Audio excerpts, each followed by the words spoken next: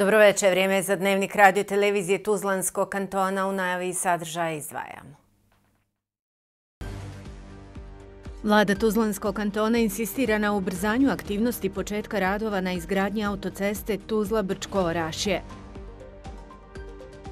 U vrijeme kada cijene rastu i kupovna moć građana slabi neophodne izmjene zakonske regulative o zaštiti potrošača. U federaciji u pripremi novi zakon o lovstvu. Pod minama u Tuzlanskom kantonu još 78 miliona metara kvadratnih površine. U Gračanici uskoro uređenje prostora zelene pijace. Sutra sunčano vrijeme.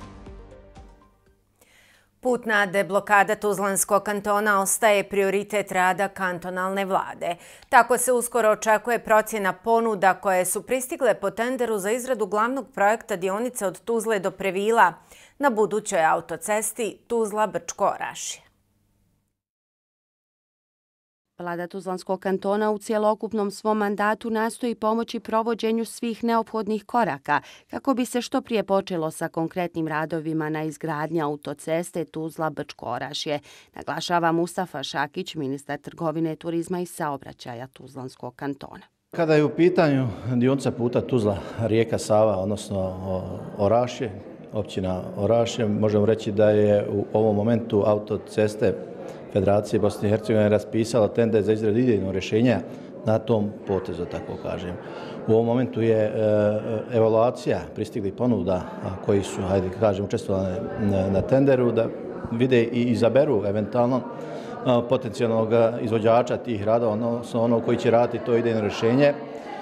I nadamo se da će ove godine početi geološka istraživanja, odnosno da se ide u fazu glavnog projekta do Previla. Šakić napominje da je dionica od Tuzle do Previla već usaglašena, a dalju dionicu puta treba dodatno utvrditi. U ovom momentu imamo zahtjeve e, gradskih vijeća Srebrenika i Gradarca koji žele da na postojeću trasu koja je ucrtana i u prostorni plan Tuzlanskog kantona izmijene na način da ta nova, potencijalna nova autotrasa, trasa autoputa bude e, bliže gradovima Srebrenik i Gradačac, Polovinom ove godine očekuje se i da Posavski kanton i Brčko distrikt urade svoju prostorno-plansku dokumentaciju kako bi počelo projektovanje autoceste na ovom području. Možemo reći da će prve mašine koje su neophodne da bi se pristupilo izradi glavnog projekta biti na postojećoj trasi do Previla kada će početi znači, tender eh, za izradu prvog kilometra autoceste na ovom području, to zavisi od izrade glavnog projekta.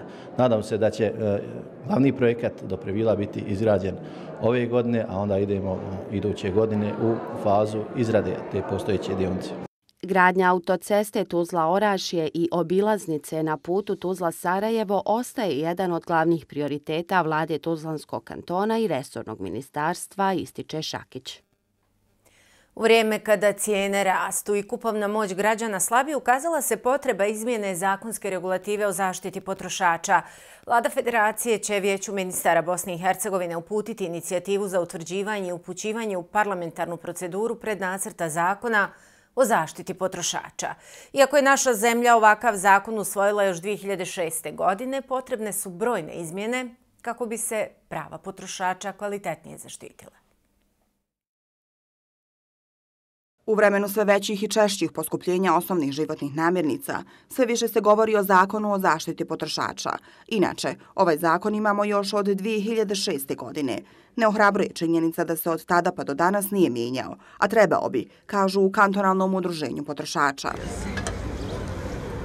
Osam prava potrošača je zaštićeno postojećim zakonom. To nije slučaj sa evropskim zakonima koji imaju po 9 ili deset. Naš zakon ima dosta manjkavosti. Na primjer, servisiranje e, tehničkih proizvoda u domaćinstvu, e, ocjena kvaliteta određenih proizvoda e, i sam proces žalbe potrošača, e, znači postoji određeni manjkavosti u tom zakonu i to bi naravno sve trebalo ispraviti e, da bi bilo lakše i primjenjivije u praksi. U praksi loše stanje. Cijene divljaju, a potrošači ova prava koja imaju malo ili nimalo znaju.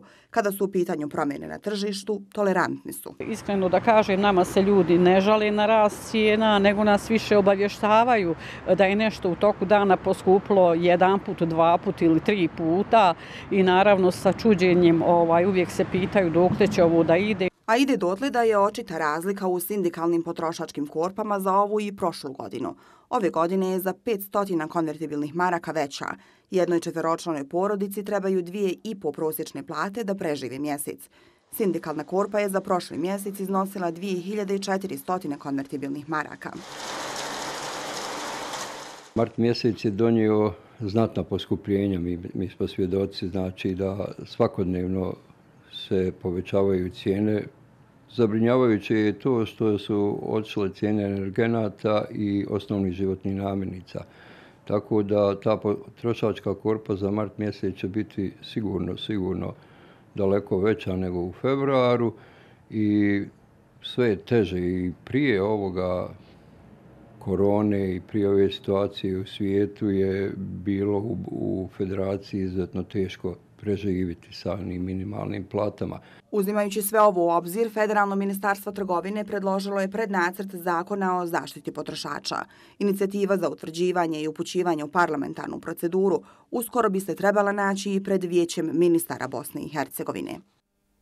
Jedna od nadležnosti Ministarstva poljoprivrede, odoprivrede i šumarstva Tuzlanskog kantona je grana privrede koja se odnosi na lovstvo. U resornom ministarstvu kažu da su zadovoljni saradnjom i realizacijom dogovorenog slovačkim udruženjima, prije svega unapređenja lovstva. Novi zakon o lovstvu u federaciji koji je u pripremi donjeće mnogo više reda u ovoj oblasti. Prošla godina bila je uspješna kada je u pitanju realizacija projekata iz oblasti lovstva u Tuzlanskom kantonu, navode u resorno ministarstvo. Sredstva za ove namjene prikupljaju se u skladu sa zakonom o ovoj oblasti za prošlu godinu. Iznosila su 45.000 konvertibilnih maraka. Finansirani su i sufinansirani projekti unapređenja lovstva i lovačkih društava na području Tuzlanskog kantona. Prošle godine smo znači, uspješno realizovali te projekte, dobu izvještaje gdje su udruženja opravdala ta sredstva i evo, u skladu s njihovim projektima koji su kandidovali, ona, mi smo vršili unapređenje. Također ove godine e, smo e, planirali sredstva u istoj visini znači sredstava. Ta sredstva su e, od zakupa e, lovišta uh, u skladu sa ugovorima koji mi zaključujemo sa udruženjima i na osnovu ovaj evo projekata koji će oni ove godine kandidovati e, uh, donijećemo program i finansirati te projekte. Posebna pažnja ove godine biće posvećena zaštiti poljoprivrednih parcela na kojima divljač pričinjava štetu evo, smo već u javnom pozivu u razgovorima sa lovačkim udruženjima obratili pažnju da takve projekte kandiduju e, uz e, projekte koji će evo, udruženja za koje oni smatraju ovaj, e, kandidovati prema ovom ministarstvu. Mi smo također u, na području kantona davno riješili znači, pitanja što nije slučaj sa svim kantonima u federaciji. Kod nas su znači, dodijeljena E, lovišta određena i dodijeljena javnim pozivom e, na 10 godina, znači u skladu sa ugovorima o udruženjima. Oni gazduju Na području Tuzlanskog kantona djeluje 13 udruženja lovaca, zajedno čine Savez udruženja lovačkih društava i imaju značajnu ulogu u razvoju ove grane privrede, očuvanju prirode, biljnih i životinskih vrsta, kaže podpredsjednik pomenutog Saveza Samed Mehmedović. I on smatra da je jedan od prioriteta u ovoj godini zaštita poljoprivrednih usjeva od divljači. Nekoliko sastanaka je održano i pokazano je e, razumijevanje od strane kantonalnog resornog ministra da se pomogne i da se na neki način ova divljač vrati u svoja staništa i na taj način zaštite poljoprivredni, poljoprivredni usjevi. Dogovoreno je u skladu sa zakonom o lovstvu da se u toku mjeseca maja organizuje nekoliko progona na ovu vrstu divljači kako bi se ona ponovo vratila, vratila u svoja staništa. Zakon o lovstvu Federacije Bosne i Hercegovine je u fazi prednacrta. 2019. godine dostavljen je i resornim kantonalnim ministarstvima kako bi aktivno učestvovali u njegovoj izradi. Mi smo obratili pažnju e, u dijelu prekšajnih odredbi e, gdje je e, u pitanju zabrana kada udruženja ili korisnici lovišta vrše prekšaje, tako da smo malo insistirali na tom dijelu kako bi se uspostavio red prilikom vršenja tih aktivnosti i također smo u dijelu e, prihoda koji pripadaju kantonu dali e, jedan prijedlog koji se tiče raspodjele, znači da jedan veći procenat pripadne općinama budući da se lovi na području općina gdje su određena lovišta. Pored navedenog, inicijative ostalih ministarstava su da se uvede više reda u lovištima, kontroli, zaštiti i korištenju lovačkog naoružanja i oružja, kao i turizmu u lovstvu. U nastavku dnevnika. Pod minama u Tuzlanskom kantonu još 78 miliona metara kvadratnih površine. U Gračanici uskoro uređenje prostora zelene pijace. Sutra sunčano vrijeme. U Tuzlanskom kantonu je pod minama još 78 miliona metara kvadratnih površine. U posljeratnom periodu od minsko-eksplozivnih sredstava za ostalih iz rata stradalo je 1779 osoba, dok je 629 izgubilo život. Danas u oči 4. aprila Međunarodnog dana borbe protiv mina upozoravamo da je Bosna i Hercegovina jedna od minski najugroženijih zemalja u svijetu. Lijepo vrijeme i duži boravak u prirodi pojačali su prijave pronalaska neeksplodiranih ubojnih sredstava u prirodi timovima kantonalne uprave civilne zaštite. Iako prošle godine u Tuzlanskom kantonu nije zabilježena ni jedna minska nesreća, mine su još uvijek oko nas. Mi još uvijek živimo sa minama i to će trajati dugi niz godina. Ja sam to više puta isticao zato što na području našeg kantona imamo negdje oko 80 miliona kvadratnih metara još uvijek pod minama. Mi smo prošle godine e, deminirali negdje oko 3 miliona metara kvadratnih, a veliku opasnost predstavljaju i neeksplodirana ubojna sredstva koja svakodnevno nalazimo na području našeg kantona. Prošle godine uklonjeno je 5000 takvih ubojnih sredstava, a tokom proteklih godina taj broj je bio duplo veći. Od početka procesa uklanjanja NUSA uklonjeno je 500.000 ubojnih sredstava i 1300 kg eksploziva. To dovoljno govori o opasnostima sa kojima se svakodnevno susrećemo.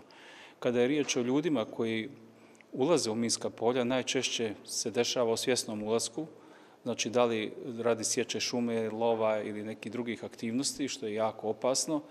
Ono što ste pomenuli i za djecu je veoma bitno da su svjesna te opasnosti, da ni u kom slučaju se ne približavaju tim minsko sumljivim površinama.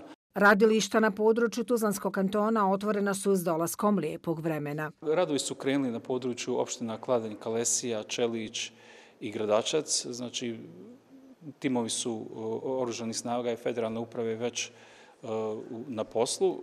Ta će aktivnost vjerojatno biti intenzivirana dolazkom e, boljeg vremena. Ali dolaskom boljeg vremena i građani borave u prirodi. Podaci govore da je preko 95% minskih polja u Bosni i Hercegovini obilježeno, ali i da se većina nesreća desila u obilježenim minskim poljima, što znači da su u potpunosti mogle biti izbjegnute. Zbog toga apeliramo, ne približavajte se obilježenim područjima, ne idite na nepoznata mjesta, ne ulazite u napuštene objekte i ukoliko primijetite sumljivi predmet, pozovite 121. Gračanlije bi uskoro trebale dobiti savremeno uređen prostor na zelenoj pijaci. Grad Gračanica i UNDP će uložiti 171.000 konvertibilnih maraka. U okviru projekta uređenja zelene pijace u Gračanici faza 2 potpisani su ugovori sa 23 korisnika prodavača na pijaci. Cilj realizacije ovog projekta jeste izgradnja nasrešnice koja podrazumijeva e, znači jedan poluzatvoreni prostor skupa sa rasladnim vitrinama koji će našim građanima omogućiti u ljetnim mjesecima da svoje proizvode, e, prije svega mlijeko, meso, kajmak i sve ono što se prodaje na zelenoj pijaci, znači higijenski bude uskladišteno na ispravan način, čime će se produžiti vijek trajanja. Naši građani svakako kupovati hranu koja je e, zdravstvenog ispravna. S druge strane, mi ćemo uz nasrešnicu e, na platovu pijaci e, instalirati nekoliko boksova i kioska koji su predviđeni glavnim projektom. Ne sve, s obzirom da je predračunska vrijednost za komplet e, boksove negdje oko 350.000 maraka. U ovoj fazi ćemo poredati šest komada koji se u principu e, nastavljaju na tu nasrešnicu s te strane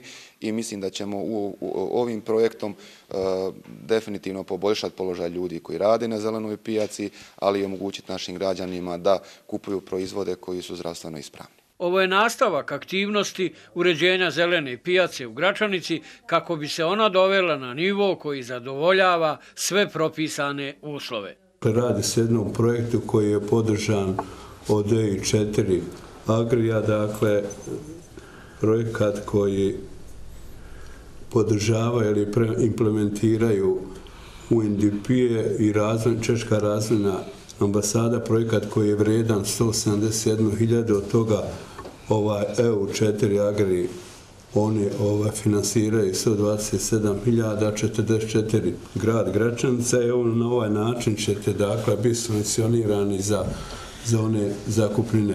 Nama je posebno drago što se ova naša zelena pijaca uređuje i stvara određene preduslove zaista da bude jedan pravi objekat. I kupci i prodavači na zelenoj pijaci u Gračanici uskoro će dobiti puno bolje uslove. Prodavači za rad, a kupci robu koja je izložena na higijenski potpuno prihvatljiv način. Bilo bi to sve u dnevniku. Hvala vam za pažnju i ugodno večer.